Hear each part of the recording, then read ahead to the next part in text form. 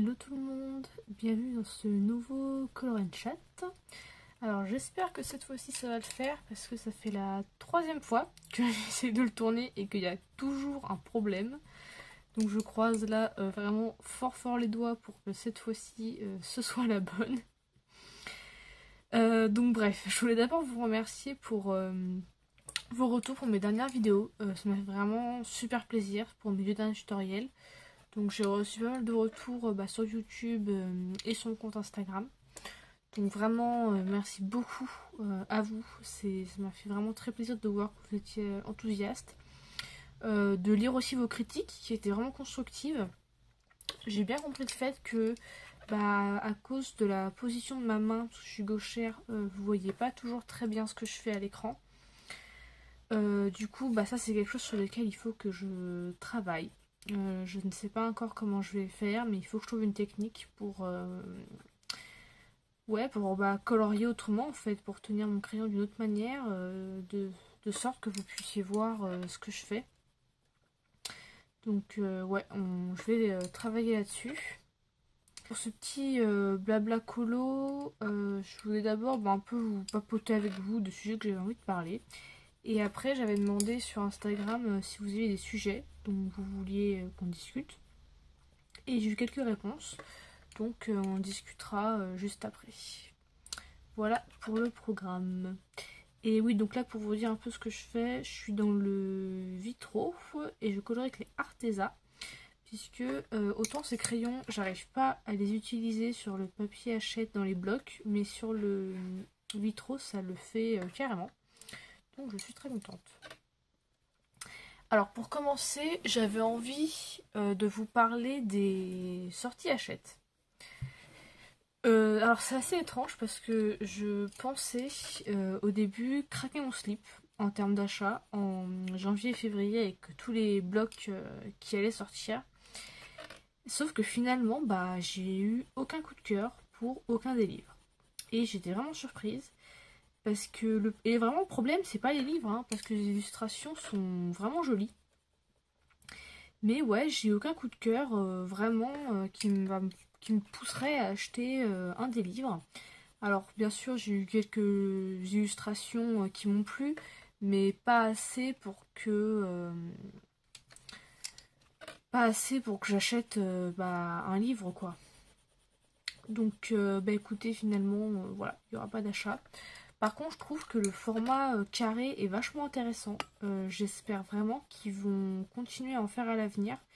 Surtout le fait qu'on ait bah, que un dessin euh, par euh, page pour euh, varier un peu les médias, sauf si c'est intéressant. Pour que ça ça transperce pas sur un colo à côté. Donc ça c'est très cool. J'ai vu que Love Stories avait eu assez de succès et c'est vrai que les illustrations sont vraiment jolies mais ouais pareil j'ai pas eu de, coup de cœur quoi. Et j'étais vraiment même étonnée hein, parce que d'habitude bah, Disney j'adore ça donc je pensais pas. Après, j'ai aussi vu le collage mystère princesse. Donc pareil, les illustrations sont très très cool. Mais euh, je suis pas super fan en fait des collages mystères. Euh, par contre, j'adore, le seul que j'ai, c'est euh, Chiot et Chien. Euh, lui, je l'adore parce que bah, de base, j'adore les chiens. Donc forcément, j'adore faire des collages mystères dedans. Mais pour l'instant, voilà, je me sens pas trop de faire d'autres collages arrangés dans d'autres livres mystères. Peut-être que ça changera par la suite. Mais pour l'instant, euh, ouais, c'est pas trop. Euh, ouais, c'est pas trop ce qui m'intéresse. Donc euh, à voir dans un futur plus ou moins proche si je change d'avis. J'ai aussi vu, bah, grâce à Bruno, la présentation du tome 2 du bloc En famille. Et lui, c'est celui que j'attendais le plus. Et par contre, lui, c'était une déception. Euh, autant les autres livres, j'ai pas été déçue, c'est juste que les illustrations bah, me plaisaient pas plus que ça. Euh, autant le bloc en famille, j'ai pas trop compris. Parce que euh, bah on a des illustrations où en fait c'est des personnages qui sont amis, donc qui sont pas en famille. Même si après, oui, hein, la décision de famille peut être prise un peu de manière large. On peut considérer que des amis très proches font partie de notre famille. Bon, ça, je peux l'entendre, mais bon, après, voilà. Euh, et ça aussi, j'ai vu que ça a dérangé pas mal d'entre nous, c'est le fait qu'il y ait trop de hum, motifs art déco. Euh, moi, les motifs art déco, ça me dérange pas de les avoir dans le petit bloc euh, carré. Ça fait longtemps que je suis pas allée dedans d'ailleurs. Mais voilà, dans ce petit bloc, ça me dérange pas parce que bah, c'est des petits dessins. Mais par contre, clairement, je me vois pas les colorier en fait dans un grand bloc. Je trouve ça assez ennuyeux. C'est juste des grandes zones vides. Donc euh, ouais, je trouve pas ça euh, très intéressant à colorier, malheureusement. Au lieu de nous faire euh, des vrais paysages, nous faire des, des mouvements géométriques, je trouve ça un peu, un peu dommage, mais bon. Après voilà, hein, c'est le choix de l'illustrateur, c'est aussi sa patte. je suppose que ça plaira quand même à certains d'entre nous. Il y en a sûrement qui, vont aimer ce côté art déco justement et tant mieux mais bon voilà perso en tout cas ça reste quand même une euh, ouais une, petite déception à ce niveau là euh, donc j'ai pas encore vu bah, comme personne d'ailleurs hein, enfin au moment où je sortirai la vidéo en tout cas j'ai pas encore vu la présentation euh, du carré c'est la fête mais des quelques illustrations que Bruno nous a montré là en story Instagram bon je, pense pas à craquer non plus hein, très honnêtement à mon avis ce sera pas un achat non plus. Mais c'est pas plus mal parce que j'ai encore plein de livres à colorier, donc euh, franchement c'est pas un problème. D'ailleurs, euh, je vais bientôt recevoir, euh, là, je crois qu'il y en a un qui doit arriver aujourd'hui, enfin au jour en tout cas où je filme, et l'autre demain, des livres que j'ai commandés sur AliExpress. Donc j'aurai déjà bien assez à faire avec ces deux-là. Euh, je ne pense pas vous faire de présentation comme j'avais fait pour euh, le Fine Color, puisqu'il y en a un où on a euh, déjà beaucoup de présentations sur YouTube, même si c'est pas des chaînes françaises, mais il y a beaucoup de chaînes anglophones qui ont déjà fait des présentations. Et l'autre, je pensais peut-être vous le filmer, mais en commentant en même temps, vous voyez, au lieu de mettre juste un fond sonore et de vous montrer page par page me suis dit que le découvrir et le commenter en même temps que vous, bah ça pourrait être euh, plutôt chouette. Ça changera un petit peu. Donc euh, je pense euh, que je vais faire ça. Bah écoutez, voilà pour, pour les livres. donc voilà, achète. Bah écoutez, à voir dans les, mois, dans les mois à venir si je change d'avis. Peut-être qu'en feuilletant livre en magasin, bah, j'aurai finalement ces coups de cœur qui ne sont pas apparus en vidéo. Ça m'était arrivé pour euh, bah, le Summertime et le Block Portrait tome 2, que je pensais pas du tout prendre en voyant les présentations, et finalement, une fois en magasin, bah, euh, j'avais essayé de, les prendre et, euh, et c'était sans regret. Donc bah, on verra bien. je voulais aussi vous dire que j'avais commencé à faire un tracker pour suivre mes livres de coloriage. c'est quelque chose qui m'attirait pas du tout à la base parce que moi ça, je suis pas dans l'optique de finir mes livres en fait. Euh, je préfère me concentrer sur euh, voilà les dessins que j'aime bien, les livres que j'ai et c'est pas grave si je les finis pas. Alors bien sûr l'objectif euh, c'est pas d'avoir 10 000 livres pas commencés ou juste avec un ou deux collages dedans hein.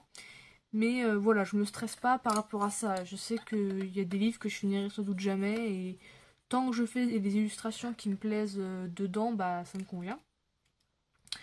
Euh, pour autant, j'ai quand même commencé à faire un tracker dans un petit carnet. Euh, je sais pas si je vous montrerai parce qu'il est vraiment moche. je l'ai je l'ai fait un peu... Enfin, je l'ai pas ultra soigné. Mais par contre, j'ai adoré le faire. Ça m'a beaucoup détendu en fait. le fait de, bah, de coller les petites images des livres faire un peu de déco avec du masking tape, euh, de, euh, tracer des tableaux. C'est aussi super euh, satisfaisant de colorier les cases quand on a fini un coloriage. Donc ouais, c'est vraiment, je, je, regrette pas du tout de l'avoir fait, c'était hyper agréable, ça m'a beaucoup détendu. Donc peut-être qu'un jour j'aurai l'occasion de vous le montrer. Pour, l'instant je, ne sais pas. peut-être si un jour je vous parle de mon organisation coloriage, même si j'en ai pas vraiment. Mais bon, aura peut-être matière à en parler. À voir. En parlant de prochaines vidéos, j'ai bien envie aussi de vous filmer un mystère arrangé, bah, dans le chien évidemment. Qui serait alors filmé de manière bah, normale évidemment, mais en plusieurs fois, parce que je peux pas finir un coloriage en une fois. J'ai pas le temps ni la patience, et au niveau de mon dos, c'est pas possible non plus pour moi. Euh, mais voilà, au, montage, vous, ça, ça se verra pas, hein. ce sera une vidéo en une seule fois du coup. Euh, mais j'aimerais donc vous le filmer en vous expliquant comment je fais un collage mystère arrangé et en accélérant certaines parties pour que euh, le tutoriel soit moins long que mes deux derniers qui duraient plus d'une heure. Alors j'espère que ça vous a pas trop dérangé. quand je me suis rendu compte que c'était aussi long, je me suis dit ok bon pour un tutoriel c'est quand même plus d'une heure, c'est super long. Donc euh, merci à ceux qui les ont regardés entièrement. Euh, les autres, je, vous en veux absolument pas du tout. Parce que une heure, même plus d'une heure, c'est super long. Euh, faut avoir le temps et l'envie, donc il n'y a aucun souci. Tant que vous avez quand même appris des choses, moi ça me, ça me convient. Donc voilà, je pense vous faire un petit tutoriel pour vous montrer comment je fais mes corléages mystères arrangés. Euh, mais cette fois en accélérant certaines parties pour que ce soit un peu plus rapide. J'avais aussi envie de vous parler de ma dernière lecture qui a été un gros coup de cœur. Euh, c'est le livre Tant qu'il le faudra de Cordelia qui est sorti aux éditions Akata. Et c'est un livre, euh, alors à la base, qui été publié sur Wattpad, qui est une plateforme où tout le monde peut mettre en ligne ses écrits en fait. Donc j'avais commencé à le lire euh, entièrement, enfin à le lire euh, sur la plateforme, mais je l'avais jamais, euh, je n'avais pas terminé en fait. J'avais fini par laisser tomber parce que j'avais pas le temps, j'avais plus trop le temps et lire sur écran c'est pas trop trop mon truc, sauf pour le travail, j'ai pas le choix. donc du coup quand j'ai vu que Kata le sortait en roman, bah, je me suis jetée dessus. Et je peux vraiment que vous le conseiller, c'était une super lecture on suit euh, divers personnages, euh, tous euh, LGBT, qui sont dans une association parisienne. Et il n'y a pas vraiment de trame principale en fait, on suit vraiment leur vie quotidienne, leur amour, leurs déboires, leurs problèmes, les choses positives aussi qui leur arrivent, c'est vraiment leur vie quotidienne. Et les personnages sont vraiment tous très bien écrits, ils sont tous très attachants. On a, tous envie en fait de les suivre euh, bah, dans leur vie quotidienne. Euh, sachant qu'on switch, c'est un roman choral, on switch entre euh, plusieurs points de vue. Donc c'est aussi intéressant parce qu'il y a un personnage qui fait nous décrire une scène bah, de son point de vue. Et après on peut avoir le retour de la scène d'un autre personnage qui lui l'a perçu totalement différemment. Donc pour ça c'est assez sympa. Donc euh, voilà, tant qu'il le faudra, c'est un très très bon roman, une lecture que j'ai lue très vite. Euh, ça se lit facilement, c'est accessible. Pour l'âge, je dirais euh, à partir de 15 ans, ça me semble plutôt pas mal, puisque les personnages sont assez âgés. Ils sont au moins tous soit dans la vie active, soit à la fac. Mais ouais, vraiment, je dirais pas bonne surprise parce que je l'avais déjà beaucoup aimé sur Wattpad. Mais là, de pouvoir le tenir dans mes mains, c'était un, vrai plaisir euh, de lecture.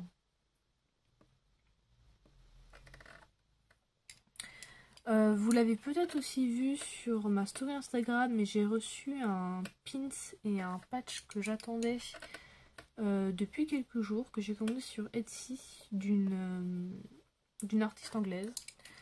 C'est ce que j'aime bien mettre des pins sur une de mes vestes en jean. Euh, donc là, ça me fait mon troisième dessus. Je pense pas que j'en mettrai d'autres parce que j'ai pas non plus envie que ce soit euh, euh, bah, trop en fait. Trois pins, ça, me semble plutôt pas mal. et c'est un personnage bah, d'un chien, d'un animé et d'un manga que. D'un animé et d'un manga et les deux que j'adore. je vous renvoie sur mon post Instagram si vous voulez en savoir un peu plus, j'en parle dessus. Et j'ai aussi donc commandé un patch thermocollant pour mettre sur une, sur une autre veste en jean euh, au dos cette fois. Pour avoir grave la classe. Non, je plaisante. Parce que juste genre ce personnage, donc euh, je suis très contente de pouvoir décorer mes vêtements avec. Hop, donc euh, je crois que c'est la première fois que, je commande un créateur sur Etsy. D'habitude, je j'étais plutôt en convention, mais bon, bah là, vu, euh, vu ce qui se passe en ce moment, elles sont toutes annulées. Et très bonne expérience, hein. je pense que c'est même limite un peu addictif. J'ai déjà envie de recommander quelque chose, mais bon, on va se, calmer. Hein. Faut pas non plus euh, abuser. Euh, je voulais aussi vous prévenir que, alors peut-être, que le rythme de coloriage et de vidéos va un peu euh, diminuer. Bon, non pas que je fasse des vidéos très souvent, hein, mais par contre je colorie assez régulièrement. Euh, parce qu'on cherche un appartement en ce moment avec mon copain. Parce que, euh, donc, il y a quelques mois, on avait trouvé un appartement, de un studio de 18 mètres carrés, qui était vraiment bien. mais le truc, c'est que là, on doit trouver plus grand parce que euh, je dois récupérer mon chien qui est chez ma mère. Et c'est d'ailleurs pour ça que je suis chez ma mère en ce moment, c'est pour euh, m'occuper de lui. Mon copain est resté à l'appartement et moi je suis retournée euh, chez ma maman pour m'occuper de mon chien, qui est un gros chien. Et du coup, il nous faut bah, voilà, une surface un peu plus grande pour pouvoir le prendre, le prendre avec nous. Parce que 18 mètres carrés, bah, c'est juste impossible. On n'aurait nulle part où le mettre le pauvre. Euh, du coup, voilà, ces recherches vont peut-être nous prendre euh, bah, un peu de temps, quoi, normal. Hein. C'est toujours un peu long de trouver un appartement. Du coup, euh, voilà, vous vous étonnez pas si je suis un peu moins active sur les réseaux. Peut-être que j'arriverai à jongler entre les deux et que finalement, il n'y aura pas de souci. Hein. Mais voilà, vous, vous, vous étonnez pas si je suis un peu moins active, du coup, ce sera pour ça. Euh, bah écoutez, je pense avoir fait le tour des sujets dont je voulais moi vous parler. Je regarde un peu ma fiche, mais du coup, bah écoutez, on va passer aux questions euh, et aux sujets que certains d'entre vous m'avaient posé ou voulaient évoquer. Euh, je vais commencer avec le message de Colo, ma chère Colo, qui me demandait quel livre je comptais acheter. alors, bah, comme je vous l'ai dit, les livres achètent euh, pour l'instant c'est niette. Sauf si, bah voilà, j'ai le coup de cœur finalement euh, en magasin. On sait jamais. Euh, par contre, j'aimerais beaucoup acheter un livre de Momo Girls. J'ai vu là que, enfin, c'est moi qui avais prévenu Kraki qu'il y en avait un qui était dispo sur AliExpress à 20 euros, frais de port offerts. Contrairement à Etsy où les frais de port sont plus chers que le livre souvent. Donc euh, je suis pas encore certaine, mais c'est possible que je craque pour ce livre-là. Parce que les illustrations sont tellement belles. Après je saurais pas trop trop comment colorier dedans. Ce serait un test. Mais pourquoi pas quitte à photocopier euh, un premier euh, coloriage pour tester et aller ensuite directement dans le livre quand je me sens plus à l'aise. Ça c'est un truc que je peux faire. Donc c'est possible que ce soit le Momo Girls. Après, euh, je suis assez difficile au final euh, en livre de coloriage, donc voilà, pour l'instant, euh, par ça, il n'y a rien qui me fait vraiment de l'œil. Sachant que j'ai déjà commandé bah, les deux livres là qui, qui me faisaient beaucoup envie et bon bah qui vont bientôt arriver, j'espère. Enfin, quand, de toute manière, quand cette vidéo sortira, je pense que je les aurai en main quand même. Hein, d'ici là, je m'inquiéterai si c'est pas le cas. Euh, donc ouais voilà pour les livres apparemment le livre un, des livres de Momo pour l'instant euh, il y a d'autres livres qui me font envie mais ils sont sur Etsy et moi c'est hors de question de payer 20 euh, euros de livraison j'ai pas les moyens en fait de, mettre autant d'argent dans dans un livre parce que allez entre 30 et 40 euros enfin entre non plutôt entre 20 et 30 euros le livre et plus de 20 euros de livraison sur Etsy et pour moi c'est pas possible. C'est de, l'argent que je préfère mettre euh, ailleurs. Euh, vraiment, euh, ouais, ça, pour moi c'est pas possible. Donc voilà, pour l'instant dans ma shopping list je mets le Momo Girl et le reste bah on verra si c'est disponible ailleurs avec des frais, des frais de port plus accessibles on va dire. À voir. Il euh, y a Colo Poppins qui me demandait euh, comment je faisais pour avoir autant de talent. Et alors, merci beaucoup, ça me touche euh, énormément, c'est vraiment super gentil. Euh, je ne sais pas si j'ai vraiment euh, autant de, de, talent que ça. mais voilà, par contre, après ce que je fais quand je colorie, alors là je le fais pas hein, parce que c'est du vitrail et c'est vraiment juste ultra détente pour papoter avec vous. Mais j'utilise parfois bah, des références pour savoir comment poser ombres et lumière. J'hésite pas à prendre des couleurs qui contrastent bien pour donner du volume. Euh, bah écoutez, voilà, c'est souvent les mêmes conseils que je vous donne au final.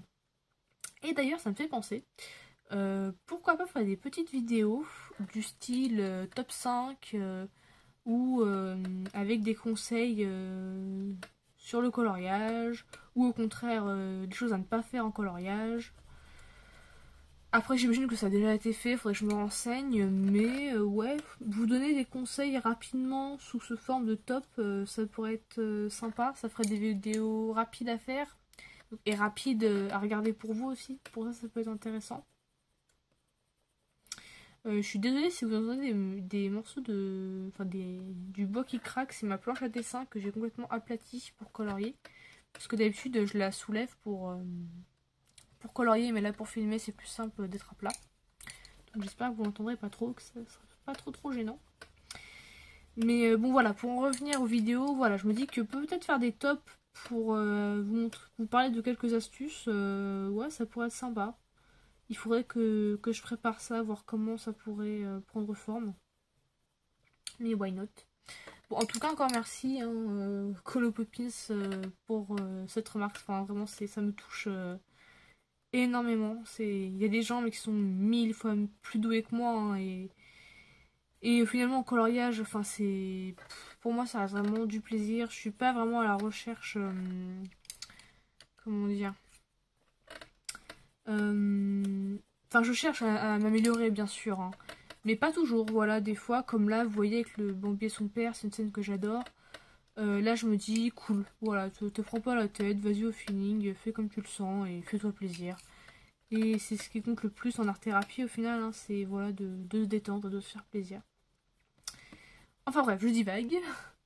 Euh, alors il y a toujours Colopopins qui me demande combien de temps je fais pour faire un coloriage. Euh, si j'ai bien noté la question, je suis désolée si c'est pas ça. Alors ça varie, ça peut aller... En général je prends quand même mon temps, donc je vais dire, euh, sachant que je colorie peut-être euh, quelques heures par jour. Euh, donc je dirais, je sais pas, peut-être, j'essaye de faire un par semaine au minimum. Parfois à en faire plus, mais c'est plus rare. Mais en coloriant un petit peu tous les jours, en général, j'arrive à en faire un par semaine puisque j'essaye de vous poster sur Instagram un coloriage par semaine. J'y arrive assez souvent en général. Hein. Ça, m'est déjà arrivé de pas le faire, mais en général, ouais, j'arrive à tenir le rythme d'un coloriage par semaine. Par contre, ce que je fais vraiment, c'est que j'évite de faire des euh, plusieurs coloriages en cours. Euh, sauf là, en ce moment, j'ai commencé celui-ci pour faire du blabla. Et j'ai le Kincaid aussi à terminer. Euh, mais en général, sinon, je fais pas euh, de, Je commence pas plusieurs coloriages en même temps. Je me concentre vraiment sur un seul. Sinon, j'ai peur en fait d'abandonner un coloriage. Euh, il y en a quelques-uns d'ailleurs que j'ai bah, abandonné. Je me dis que j'y retournerai un jour, mais pour l'instant, ils sont toujours bah, en cours. Et je déteste ça. Du coup, j'évite vraiment au maximum de faire ça. Euh, alors, elle me demande toujours ce que je fais dans la vie. Alors, j'ai terminé mes études, euh, mon master euh, commercialisation du livre. Et là, du coup, en ce moment, je suis lectrice pour une maison d'édition.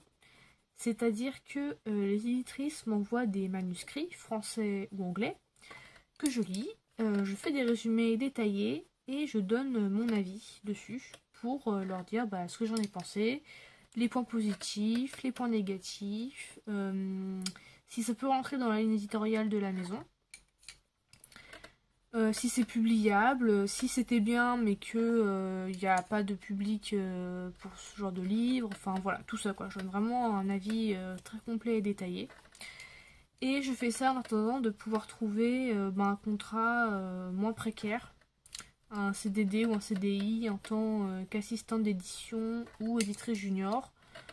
sachant que moi mon domaine de prédilection c'est plutôt la jeunesse et l'illustré, donc bande dessinée par exemple. Mais bon après J'aime aussi lire des romans, donc euh, travailler sur du roman, ça me pose. Euh, enfin, du roman adulte, hein, ça, ça me pose pas de problème non plus. Euh, donc voilà au niveau du travail. Et elle me demandait, et je te remercie pour ça, comment j'allais et comment allait mon dos. bah écoutez, il y a des hauts et des bas. Parce que là, entre la recherche de travail, d'appartement, je vous avoue que le moral n'est pas toujours top top. Donc il y a des jours où ça va, où le moral est là. Par exemple aujourd'hui euh, ça va. Et il y a des jours où euh, je déprime complètement. Euh, j'ai envie de pleurer tout le temps. Mais bon après, voilà, on a tous nos coups de blues, hein, ça, ça arrive malheureusement. Puis... Et puis voilà, ça passe. Et après bah, ça va mieux. Et heureusement que le coloriage est là pour, bah, pour me voilà pour m'aider un peu à, à, me changer les idées. C'est vrai que c'est quand même... je suis quand même bien contente de pouvoir avoir ça. Et pour mon dos, euh, alors certains savent peut-être que j'ai souvent mal au dos parce que j'ai deux problèmes. Euh, le premier, c'est que je fais de l'arthrose. Alors oui, je n'ai que 24 ans, mais je fais de l'arthrose. Donc j'ai de l'arthrose dans la colonne vertébrale et ça, c'est des douleurs bah, qui sont... On peut rien faire en fait. Euh, moi là, ce que je fais, c'est que je prends parfois bah, du doliprane et je fais de la gym douce. Mais concrètement, ça n'empêche pas l'arthrose d'être là. Ça calme un peu les douleurs, mais euh, quand il y a des jours où j'ai mal, bah j'ai mal. Et euh, je peux pas faire grand chose euh, pour ça. Et la deuxième chose, c'est que je me suis déchiré un muscle au niveau de l'omoplate en prenant mon chien. Parce qu'à ce moment-là, j'étais avec mon copain qui était en vélo, mon chien était attaché, et en voyant bah, mon copain qui allait un peu vite en vélo, il a voulu bah, courir avec lui en fait, et donc il a tiré comme un dingue sur la laisse. Et euh, ça m'a euh, déclenché cette douleur. Ça fait plusieurs mois maintenant. Donc pour ça, je vais voir un kiné. Là, euh, ça sera bientôt ma dixième séance, donc ça commence à aller mieux. Mais pareil, du coup, ça me ça me fait quand même mal. Et donc ça, plus l'arthrose, j'avoue, des fois j'ai le dos complètement en compote et à pas rester allongé, bah je peux pas faire grand chose. Euh, et par contre, c'est pour ça que je suis très contente d'avoir, euh, je vais vous la montrer un peu, ma table à dessin que je peux relever. Comme ça, ça me permet de colorier en restant droite et ça me soulage beaucoup le dos. Ça, je dois dire que pour ça, c'est une vraie merveille. C'est mon copain qui me l'a offert à Noël et je le remercierai euh, jamais assez pour ça. Euh, ça me permet de colorier beaucoup plus longtemps qu'avant. Je fais des séances de coloriage euh, plus longues que je ne pouvais pas faire avant parce que j'avais mal au dos beaucoup plus vite. Et franchement, c'est... J'avais peur d'avoir du mal à l'utiliser en fait par rapport au positionnement bah, des mains et tout. Et au final, il n'y a eu aucun problème. J'ai même une petite pince, vous voyez, pour accrocher le livre sur le côté quand, les pages ont tendance à, tourner toutes seules.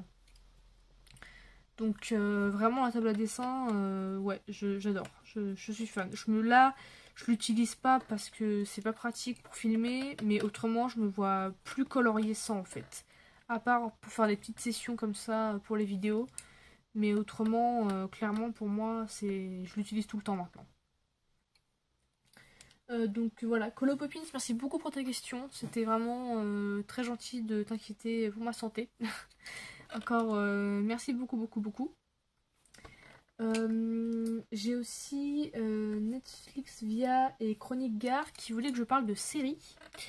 alors je regarde pas mal de séries sur Netflix, mais je retiens rarement leur nom. Par contre en ce moment je regarde une série d'animation qui s'appelle Le Prince des Dragons et je suis en complètement en in love en fait devant cette série. Alors elle est en, CGI, donc c'est une animation un peu en cel shading. Je suis pas super fan d'habitude, mais là l'animation est juste magnifique. Euh, vraiment, l'animation est superbe. J'ai rarement vu euh, une animation en CGI aussi bien faite. Euh, concernant le scénario, c'est de la fantasy où on suit en fait un, des personnages, donc deux princes humains, un adolescent et un enfant, qui voient leur pays attaqué par des elfes. parce qu'il y a fort longtemps, les humains ont détruit le dernier œuf de dragon que les elfes protégeaient. Et donc les deux royaumes sont en guerre. Euh, sauf que on va découvrir que finalement l'œuf n'a pas été détruit, qu'il est toujours euh, en vie. Enfin que le bébé dragon dans l'œuf est toujours en vie. Et donc ces deux princes avec une elfe vont partir euh, en quête de la recherche la, du roi des dragons, donc de sa mère, pour lui remettre l'œuf. là donc il y a trois saisons, je suis en train de finir la troisième. Et c'est pas la fin de la série. Hein. Apparemment il y a pas mal d'autres saisons qui sont prévues. Et vraiment, mais euh, je suis complètement accro à cette série en fait. Tout est super bien fait. Euh, ça me fait passer du rire aux larmes, euh, enfin d'un seul coup. Il y a du drame, il y a de l'humour, tous les personnages sont intéressants. Même les personnages qu'on peut considérer comme des antagonistes sont ultra attachants. Et alors, chose super rare, même le personnage de l'enfant, d'habitude je déteste les personnages d'enfants parce qu'ils sont insupportables. Mais alors lui, cet enfant là, c'est une perle, il, est adorable, il est ultra euh, mature pour son âge, enfin tous les personnages euh, sont, intelligents, sont drôles, sont pertinents, leurs échanges aussi sont super bien écrits. Enfin, je vous fais que des éloges parce que en fait, je ne trouve pas de défaut à cette série. Euh, elle est vraiment ultra passionnante. donc si vous aimez l'animation et la fantasy, je peux vraiment que vous la conseiller. On a aussi un... Alors, il y a quand même un grand méchant, mais au final, même lui, ses intentions, bah, elles peuvent être compréhensibles quelque part. Bon, je vous spoil rien, évidemment. Hein. Mais voilà, c'est... Il n'y a pas de personnage tout noir ou tout blanc. Euh, c'est vraiment... Euh, voilà, une très très bonne série. Si vous aimez l'animation, euh, la fantasy, l'aventure, je peux que, la... que vous la conseiller. Et ne pensez pas que c'est destiné aux enfants, parce que c'est d'animation. Honnêtement, la série peut être largement aimée par des adultes. Enfin, moi, je j'ai 24 ans euh, et j'ai pas l'impression de regarder une série faite pour les enfants, en fait. Vraiment, euh, c'est un gros, gros, gros, gros, coup de cœur. j'ai aussi terminé la dernière saison de Sabrina. Alors j'avais adoré les deux premières. Euh, la troisième m'avait un peu déçue. Et là la dernière je l'ai trouvée vraiment assez mauvaise. Euh, il y avait beaucoup d'incohérences, de facilité. Après, j'ai quand même aimé la regarder parce que j'adore les personnages de Sabrina. Je les trouve tous euh, ultra attachants. Et pour vous dire vrai, hein, c'est pour ça que j'ai regardé cette dernière saison. C'était pour les personnages parce que niveau scénario, malheureusement, c'était assez décevant. Donc je vous conseille de regarder Sabrina parce que les deux premières saisons sont vraiment euh, très bien. La troisième est un peu en dessous et la quatrième par contre... Euh, alors je crois que je... C'est bien la quatrième hein. Ou la troisième. J'ai un gros doute du coup sur le nombre de saisons. Mais bon, en tout cas la dernière qui est sortie est vraiment moins bonne que les autres. Pour autant, si vous aimez les personnages, elle restera sympa à regarder parce que c'est quand même un plaisir de les retrouver. Ils sont quand même euh, fidèles à eux-mêmes au final. Et il y a un ou deux épisodes qui, qui remontent un peu le niveau quand même.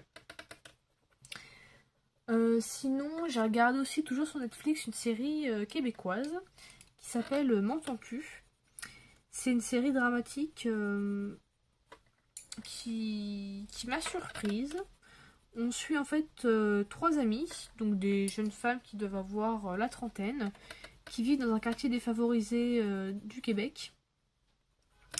Et on suit bah voilà leur quotidien, leurs problèmes d'amour, leurs problèmes familiaux. C'est et en fait ces nanas elles sont ultra attachantes malgré tous les problèmes qu'elles peuvent avoir et qu'elles peuvent se créer hein, parce que parfois c'est elles qui se créent des problèmes ou parfois c'est elles qui subissent euh, malheureusement euh, des soucis. Euh, j'ai beaucoup aimé suivre leurs histoires. Il y a une dernière saison qui est en train d'être tournée et j'ai très hâte de la voir. De... Pareil en fait c'est tout pour retrouver les personnages. Ça parle de beaucoup de sujets importants comme par exemple l'addiction aux drogues. la pauvreté, bien sûr, les violences conjugales, c'est un sujet très important de la série et qui est, il me semble, très bien traité dans la manipulation en fait qu'on peut qu'un conjoint abusif peut faire. Je trouve que le sujet est très bien traité. Donc euh, voilà, si vous avez... Faut avoir un peu le moral quand même pour regarder cette série parce qu'elle est... Même s'il y a beaucoup d'humour, il y a aussi des sujets un peu durs. Donc si vous vous sentez, je peux que vous la conseiller. Euh, sinon, sur Netflix, j'attends la suite de The Umbrella Academy. Euh, ça, c'est une série dont j'ai adoré toutes les saisons. Donc j'ai très très hâte que la nouvelle sorte. Euh, sinon, euh, j'adore les séries comiques du style euh, The Office, Community. c'est des, séries que je peux regarder, mais The Office, je l'ai déjà vu trois fois, je crois. Je me suis déjà fait la série trois fois. J'adore. Je crois que c'est ma préférée. Elle me fait tellement rire. Enfin, oh. Si vous aimez les séries comiques, The Office, il faut tester. La première saison est pas la meilleure. Il faut peut-être insister un peu jusqu'à la deuxième et là vous, et verrez, c'est vraiment euh, que du plaisir euh, que de la suivre. Donc bon voilà, il y a beaucoup de séries que j'aime bien, j'attends, dont j'attends les suites. Euh, j'aime bien les séries aussi qui sont plutôt destinées aux ados, mais qui sont assez réalistes, où il y a un peu de drame. C'est des trucs que j'aime bien regarder. Donc bon voilà, je regarde beaucoup de séries et j'aime beaucoup ça. Euh, enfin, il y a Princesse. Euh, alors, je suis donnée, j'ai mal écrit ton pseudo. Euh, Camrose, je crois que ça se prononce comme ça. Qui me demandait ce que je pensais de Bambi. Et bah, c'est tout à fait une bonne question puisque je colorie actuellement du Bambi. Et alors, c'est un dessin animé que j'aime beaucoup, que je trouve très beau, très poétique. L'animation, bien sûr, bah bon, c'est un des premiers Disney, hein, donc elle est mais vraiment petits oignons. C'est un dessin animé qui me touche euh, énormément. Et il parvient à être touchant sans être euh, cucu. Et ça, euh, voilà, c'est assez rare pour être noté parfois. C'est vraiment un, un, film que j'ai beaucoup, que j'ai pas revu récemment, mais il faudrait que je le fasse parce que c'est un Disney que j'aime énormément. J'aime aussi le fait qu'on voit Bambi grandir c'est quelque chose que, qui est assez rare maintenant hein, dans, les, les films d'animation, de voir le personnage euh, grandir. Et c'est dommage parce que c'est toujours intéressant euh, à voir, l'évolution. Euh, les musiques, bien sûr, sont magnifiques. J'adore ces Disney du temps où on avait de la musique classique qui illustrait des paysages. Enfin, je crois que c'est dans ce film hein, qu'on a la musique enfin, c'est qui est absolument magnifique. Et à ma grande surprise, euh, j'ai aussi beaucoup aimé le deuxième Bambi. Euh, je pensais pas. Et finalement, ils ont réussi pour une suite euh, directe en vidéo. Je trouve qu'elle est vraiment réussie. on suit bah, bah le, le, moment où le père de Bambi a dû l'élever. Et ces moments-là sont ultra touchants. Je trouve que ça respecte quand même bien le premier film, même si le ton est un peu plus enfantin quelque part, bien sûr on est moins dans la contemplation et plus dans, euh, dans l'aventure. C'est un bien grand mot, mais dans l'action. Mais euh, ouais, franchement, je pense que si je devais choisir euh, une de mes suites Disney préférées, il y aurait Le Roi Lion 2 et Bambi. Parce qu'ils ont vraiment essayé de respecter le, le matériau original et tout en restant cohérent en fait parce que là c'est pas une histoire où allez hop on prend ce qui s'est passé dans le premier film on fait pareil.